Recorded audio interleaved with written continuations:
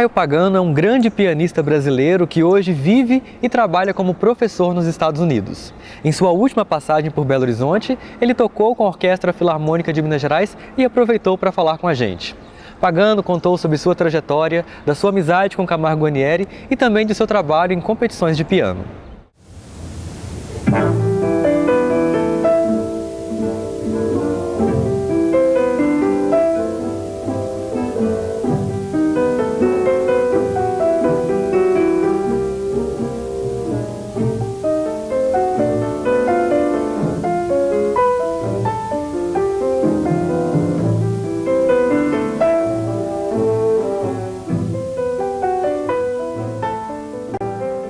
Minha mãe, na mobília de casa dela, tinha um piano, porque ela tinha se formado no Conservatório Dramático e Musical de São Paulo. Tinha sido aluna, inclusive, de Mário de Andrade, em História da Música.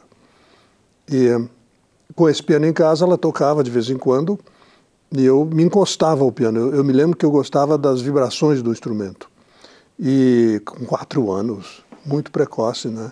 E ela disse que achava que eu tinha jeito para isso e procurou quem me ensinasse, porque ela própria não tinha vontade de, de influir na minha formação. Depois, com sete anos, meus pais mudaram de volta para São Paulo. E aí a primeira coisa que meu pai fez foi procurar uma boa professora e encontrou a Lina Pires de Campos, que foi minha primeira assistente.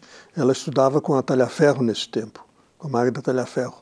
E eu iniciei então meus estudos com ela. Logo a seguir, a Madalena vinha para o Brasil. Frequentemente eu comecei a ter aulas com a Madalena enquanto ela vinha, né? enquanto ela estava lá. E daí foi daí em diante já estava em contato com o piano há bastante tempo, já era veterano com 15 anos.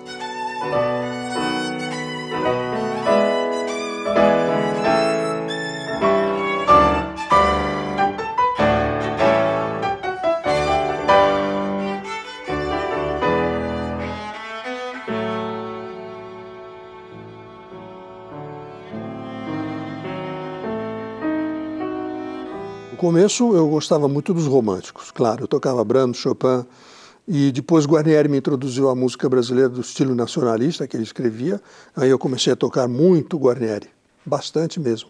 Inclusive, uh, muitas obras que ele me escreveu, uh, dedicou a mim, e eu gravei, não é?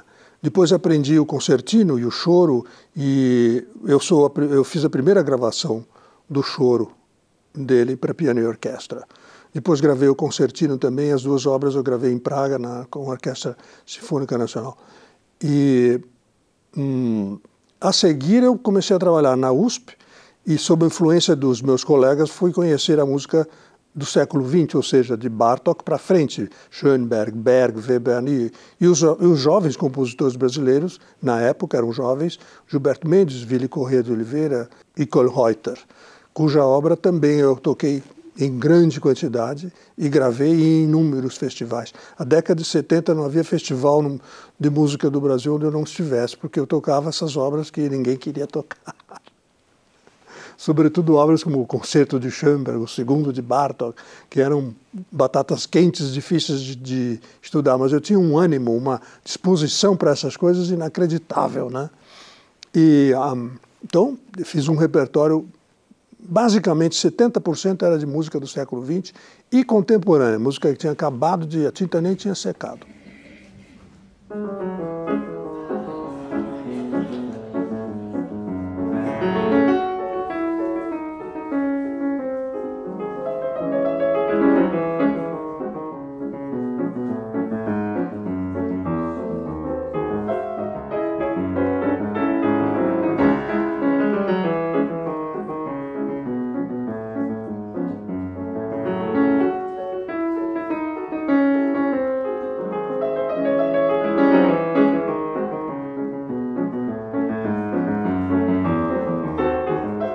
Guarneri eu conheci porque a minha professora, a dona Lina, essa que era assistente da Talhaferro, era aluna de composição do Guarnieri. E ela estudava com o Guarnieri, escrevia nacionalismo, o estudo de o tempo naquele tempo, eles escreviam música de cunho nacionalista, né? E eu aprendi primeiro essas composições da Dona Lina e do Guarnieri. Aí, depois, com o tempo, eu tinha 16 anos, eu comecei a ter aulas com ele, mas não de piano, era de interpretação. Então eu tocava César Franco, tocava Brahms, tocava Chopin, e ele falava, explicava, faz assim, e aqui, olha, isso aqui tinha uma, uma capacidade de imagens prodigiosa, era uma coisa incrível que ele tinha de imaginação artística para estimular a, a, a mensagem musical. Então aprendi muito com ele, ficamos muito amigos, muito amigos. Ele depois, como era da mesma terra do meu pai, é, o pai dele era siciliano e meu pai também. Então, o pai dele é, e o meu pai eram, falavam a mesma língua e, e ele e íamos frequentemente visitá-los e conversávamos, de maneira que tínhamos uma amizade também muito pessoal com Guarnieri. Em 1971, meu pai morreu e ele escreveu uma peça em, em homenagem ao meu pai. Chama-se Em Memória de um Amigo. Quando saiu, Muita gente pensou que o morto era eu, a memória de um amigo, que eu é que era amigo do Guarnieri. Né? No entanto, era o meu pai a quem ele tinha escrito e dedicado a peça. E depois escreveu, tinha escrito já uma sonatina que eu estreiei numa das temporadas da Cultura Artística de São Paulo, e a seguir gravei. Tem um disco que ainda existe na, no mercado, eu acho que está, é da Funarte. Gravei a sexta sonatina que ele me dedicou e, e outras que eu, que, eu, que eu, a quarta, por exemplo, também gravei é, num outro disco, junto com o concertinho e com o choro. O tempo que eu trabalhei com ele não foi só música dele, ele regia a Orquestra Sinfônica de São Paulo, então eu toquei outros concertos. Toquei Mozart, toquei Beethoven, com ele regendo a orquestra. Né? Então tínhamos um relacionamento de, de grande profundidade, grande conhecimento foi um grande amigo e realmente até o fim, pois ele foi diretor da, da orquestra da USP, eu trabalhei 10 anos lá, víamos-nos frequentemente. Escrevi música contemporânea. Né? A minha música é a minha música. No, no, nesses anos todos que eu tinha vivido, que vão completar agora 50 anos de vida musical, eu fui enriquecendo a minha palheta de compositor. Né? Eu procuro ser o mais sincero possível traduzir a mensagem minha, que, é uma, que eu desejo que seja uma mensagem, mensagem de paz e de amor. Que eu ainda sou aqueles que acreditam no amor como a maior força para a humanidade. Guarani, a parte nacionalista dele, é, para mim, é a mais interessante, é a mais autêntica. Ele estava sob a, a influência uh, de Mário de Andrade, não é? E também de Vila Lobos, quer dizer, todos os, os, músicos da época da Semana de Arte Moderna que definiram mais ou menos que a música brasileira poderia e deveria estar baseada, influenciada por motivos regionais, do Nordeste, do Sul, de onde quer que eles encontrassem. E ele encontrou muitos desses motivos que também Guerra Peixe usava e, e escrevia música com cunho nacionalista. No entanto, na minha opinião, isso agora não quer dizer que eu sou o escritor do livro de história, mas na minha opinião, a pressão da música mais avançada, como dizem avançada, atonal ou do decafônica, encurralou o Guarnieri uma espécie de num canto e ele precisava fazer alguma coisa para vencer a, a, a, o, o esquecimento da música dele. Então ele começou a escrever com atonalidades, notas dissonantes, e é aí que eu deixo de acreditar na música de Guarnieri. Para mim já deixou de ser Guarnieri, deixou de, deixou de ser o, o Guarnieri que eu conhecia. Entendeu? E é por isso que a, a parte final da obra de Guarnieri me é desconhecida. Nem eu, eu fui ler, não gostei. Não é não gostei, não, não sei nem se eu tenho autoridade para dizer isso, mas não, não é o mesmo Guarnieri que eu conhecia.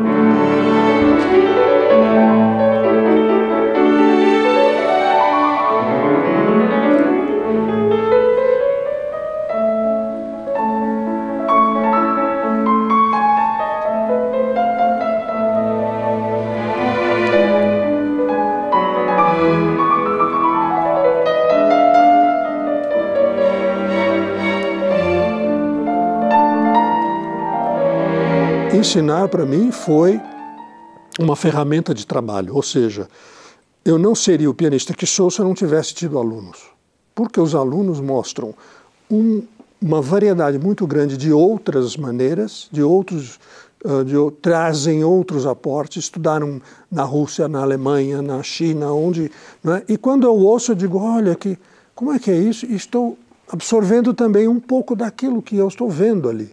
E quando eu ouço um pianista chinês, eu sei como que é possível tocar daquele jeito. Ou um japonês, ou um alemão, ou um francês.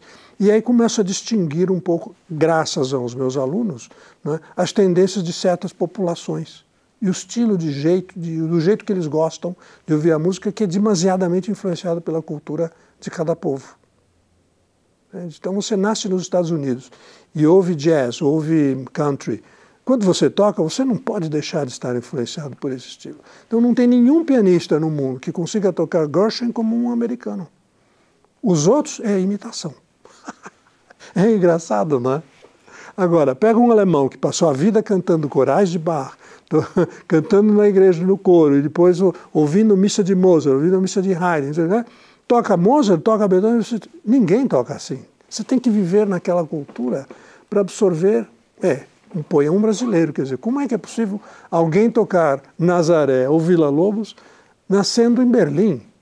Não faz sentido. Eles tentam, e com grande sucesso muitas vezes, mas eu acredito que um, um brasileiro toca como ninguém Guarnieri, ou, ou Vila Lobos, ou enfim. Essa é a, a minha a, a contribuição dos meus alunos foi essa, de me trazer essa vivência de muitos países, de muitas culturas. Além de se apresentar em concertos para piano solo com orquestras ao redor do mundo e dar aulas na Universidade do Estado do Arizona, nos Estados Unidos, Caio Pagano promove e atua como júri em competições internacionais de piano. Ele próprio, no início de sua carreira, ganhou alguns prêmios, entre eles uma bolsa de estudos que recebeu aos 17 anos e financiou parte da sua formação musical em Paris mas foi após vencer o concurso nacional Eldorado em 1962 que Caio Pagano viu sua carreira deslanchar. Eu sou júri agora, eu estou do lado da banca, né? E, e tenho ouvido grandes talentos, tenho. Há quem seja contra, e há duas pessoas que eu admiro que, que são contra. Uma era o Bela Bartok, que dizia que concursos é, era para corrida de cavalo, é como Concursos é para cavalos, não é para pianistas. Mas eu acho que o concurso tem que ser visto como uma oportunidade de se apresentar num contexto de, de disputa, de dificuldade, de não eu preciso ganhar ou eu vou ver se compro o júri ou mato o candidato que está perto de mim, enfim, alguma coisa, não é nada disso, é cordial, deve, deve ser uma atmosfera cordial em que todos fazem amizades. Daqui a 30, 40 anos são pessoas que vão ser perto, estar perto de você na carreira, não é? Muitos dos meus colegas de escola aí um, e colegas de concurso são meus amigos até hoje, de maneira que não é uma, maneira de você conhecer pessoas, trocar ideias, apostar um no outro. Muitas vezes nós precisamos de segundo piano para aprender um concerto. Aí estão os seus colegas à disposição para isso. Você vai perguntar, venha tocar o segundo piano para mim. Né? Então é assim que eu vejo o concurso, como oportunidade de se expor, né? se bem que diante de muita tensão, muita, uh, muito nervosismo, mas se você consegue superar a, a, a capacidade, tem a capacidade de saber perder, então, é? e aí há, há, meninos que eu vejo, meninas que eu vejo em concurso a terceira, quarta vez e continuam ganhando segundo, terceiro, até que finalmente ganham um primeiro prêmio e se destacam, mas nem sempre. Nem sempre os vencedores são os que se destacam, nem sempre. Não é uma regra absoluta. Primeiro prêmio, fabuloso, grande carreira. Nem por isso. É só ver a lista, por exemplo, dos vencedores do Van Cliburn. Bem, não é bem assim. Né? Um ou outro fez carreira, mas os grandes nomes vêm às vezes sem concurso nenhum.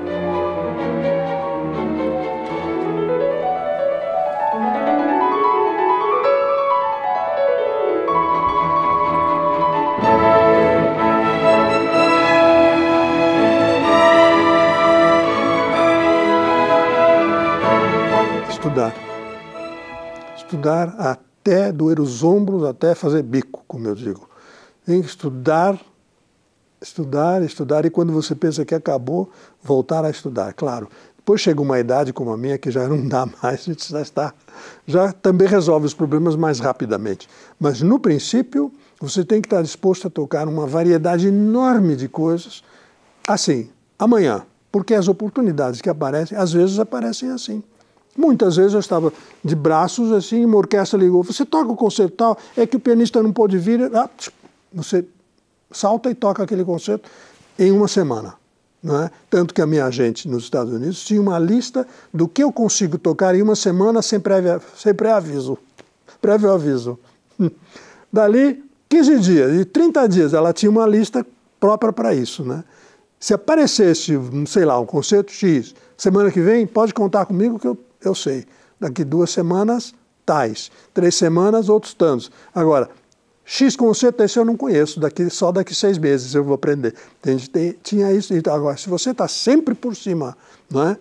preparado para qualquer eventualidade, isso acontece muito, demais. Você nem sabe quantas vezes me aconteceu de de eu estar assim e aparece uma oportunidade para um, um conceito e você tem que estar. Tá, por isso que estudar é fundamental, não pode tirar férias, não pode fazer cruzeiros ou ir nadar com os golfinhos na Nova Zelândia. Tudo isso não é para nós.